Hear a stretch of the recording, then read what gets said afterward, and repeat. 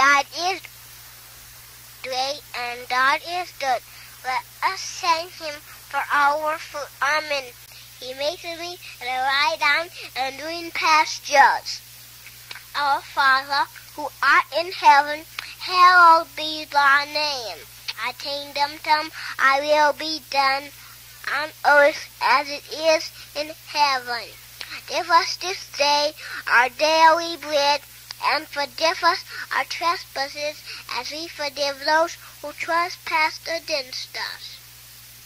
Lead us not into temptation, but deliver us from evil. For thine is the kingdom, the power, and the joy forever. Amen.